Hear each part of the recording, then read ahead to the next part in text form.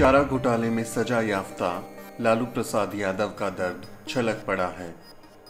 खराब स्वास्थ्य के आधार पर लालू की जमानत याचिका को सुप्रीम कोर्ट ने खारिज कर दिया।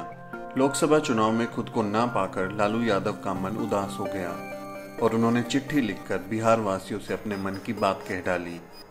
लालू ने ट्विटर पर लिखा, चवालीस वर्षों में पहला चुनाव है जिसमें आपके बीच नहीं हूँ। चुनावी उत्सव में आप सबों के दर्शन नहीं होने का अफसोस है। आपकी कमी खल रही है, इसलिए जेल से ही आप सबों के नाम पत्र लिख रहा हूँ। आशा है आप इसे पढ़िएगा एवं लोकतंत्र और संविधान को बचाइएगा। जय हिंद, जय भारत। आइए अब आपको लालू की पूरी चिट्ठी पढ़ाते हैं। मेरे प्यारे बिहार वासियों आप सबों को प्रणाम, नमस्कार, सलाम। इस वक्त जब बिहार एक नई गाथा लिखने जा रहा है लोकतंत्र का उत्सव चल रहा है। यहाँ रांची के अस्पताल में अकेले में बैठकर सोच रहा हूँ कि क्या विध्वंसकारी शक्तियाँ मुझे इस तरह कैद करा के बिहार में फिर किसी षड्यंत्र की पटकथा लिखने में सफल हो पाएँगी। मेरे रहते मेरे बिहार वासियों के साथ मैं फिर से धोखा नहीं होने दूँगा। मैं कैद में हूँ, लेकिन मेरे विचार नहीं। अपने विचारों को आपसे साझा कर रहा हूँ, क्योंकि एक दूसरे से विचारों को साझा करके ही हम इन बांटने वाली ताकतों से लड़ सकते हैं। रांची के अस्पताल में अभी शाम में अकेले बैठकर आप लोगों से बात करने का मन हुआ। जैसा कि आप सब जानते हैं कि लोकसभा चुनाव का बिगुल बच चुका है। देश में बहुत बार चुनाव हुआ है, पर इस बार का चुनाव पहले जैसा चुनाव नहीं है। इस बार के चुनाव में सब कुछ दांव पर है। देश, समाज, लालू, यानी आपका बराबरी से सिर उठाकर चलने का जज्बा देने वाला और आपके हक और आपकी इज़्ज़त और गरिमा सब दांव पर है। लड़ाई आर पार की है। मेरे गले में सरकार और चालबाजों का फंदा कसा हुआ है। उम्र के साथ शरीर साथ नहीं दे पा रहा। पर आन और आबरू की लड़ाई में लालू की ललकार हमेशा रहेगी। ये ललकार हमारे सिपाहियों के दम पर है, जो हार में, जीत में, हर हाल में मैदान में डटने वाला रहा है। पीठ दिखाकर भागने वाला नहीं है, जिसे गांधी जी ललकार कर अंग्रेज़ों भारत छोड़ो कहने के बाद करो या मरो का नारा दिया करते थे। वैसे ही ये लड़ाई देश तोड़ने वाले लोगों के खिलाफ है। संविधान में दिए हक की हिफाजत की लड़ाई है। आरक्षण और संविधान विरोधी नरेंद्र मोदी को खदेड़ने की लड़ाई में करो या मरो की ज़रूरत है। हर आदमी को लालू यादव बनना होगा। उसकी तरह डटना होगा। लालू यादव की तरह लड़ना होगा। सामने चाहे कितनी भी मुश्किल हो। डर और धमकी हो। लालच हो, खतरा हो, डटकर लड़ना होगा और गरीब गुरबों की मान प्रतिष्ठा बचानी होगी।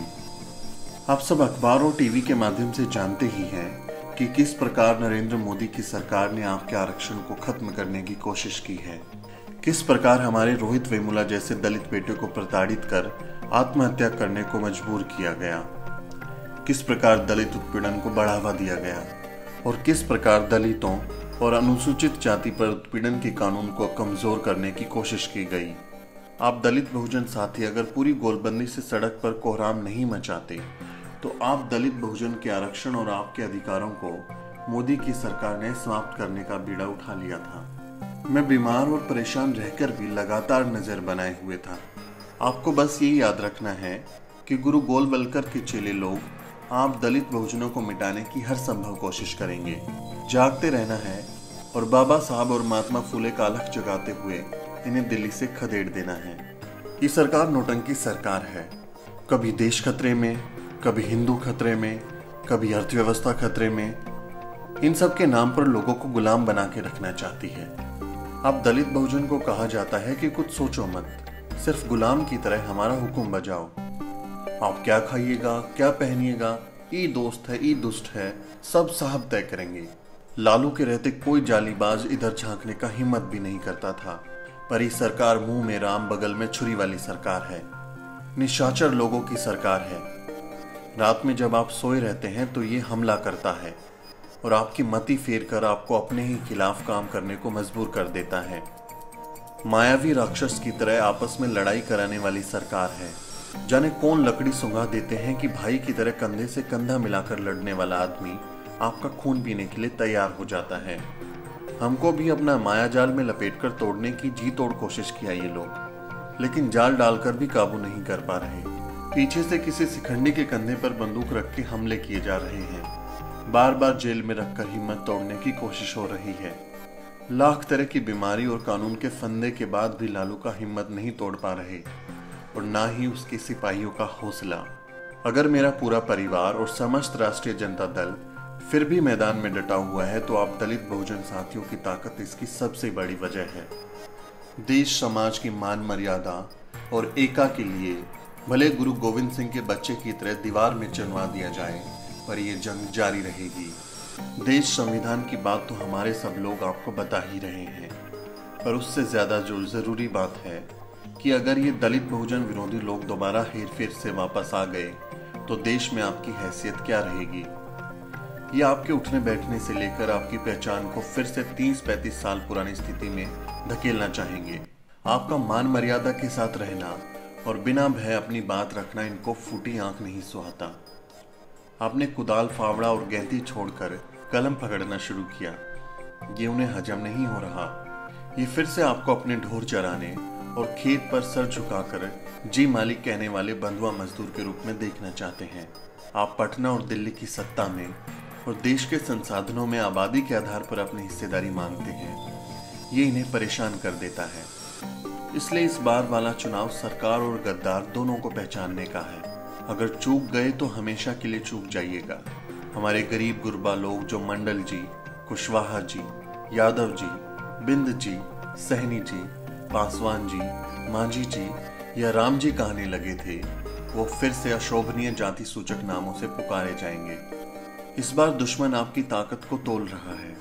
कभी बिना दस्तावेज़ और सर्वेक्षण के सवर्णों को आरक्षण देके, कभी रोस्टर सिस्टम को बदल के, या फिर अनुसूचित जाति या जनजाति पर उत्पीड़न के कानून को कमज़ोर करके, कोई सोटा भांज रहा है तो कोई राम जी को भांज रहा है। लेकिन याद रखना मेरे साथियों आपके लाल लालू का हौसला बहुत मज़बूत है। उससे भी मज़बूत है उसके सिपाही, जो कभी नहीं टूटेगा और कभी नहीं फूटेगा। लालच का, धर्म का, धमकी का, सब लाठी फेल हो जाएगा। ये मायावी सरकार आपको दिखाती कुछ है और करती कुछ है। बोलती है कि देश खतरे में है, हम हथियार खरीद रहे हैं, और आपका पॉकेट से पैसा निकाल कर ये अपना यार दोस्त को दे के कहती है कि आराम से विदेश निकल जाओ और मौज करो। हम आए तो हमको भी मौज कराओ। इस समय दोस्त और दुश्मन दोनों को पहचानने की घड़ी है। साथ में जुट के और जोड़ के लड़ने की घड़ी है। राजद के सिपाहियों और दलित बहुजन साथियों, गठबंधन में कई दल हैं, इसलिए सीट बंटवारे में सबका ध्यान रखना पड़ा। हमारे कई नेता और कार्यकर्ता जिन्हें टिकट नहीं मिला है, उन सबसे अपील करते हैं कि सब मिलकर सब कुछ भुलाकर दलित बहुजन समाज का आरक्षण और संविधान बचा लीजिए। देश को खेत समझिए और जानिए कि अगर अपना समाज खेत बचा लेगा तो फ़सल फिर लगेगी और बराबरी से सब दलित बहुजन की भागीदारी होगी। मन तो बहुत कुछ कहने का है, लेकिन अब रखते हैं। फिर लिखूँगा। बस एक बार और हाथ जोड़कर अपने दलित बहुजन साथियों से आग्रह है कि एकता कायम रखिए, संघर्ष कीजिए। दिल्ली के तख्त पर वंचित समाज के लोगों का कब्जा ज़रूरी है। प्रणाम। आपका अपना लालू प्रसाद। आप देख रहे हैं द शूद्र। बहुजन समाज से जुड़ी तमाम खबरों को जानने के लिए सब्सक्राइब करें हमारा चैनल और बेल आइकन को प्रेस करना ना भूलें ताकि हमारे नए वीडियो की जानकारी आप तक सबसे पहले पहुँच सके।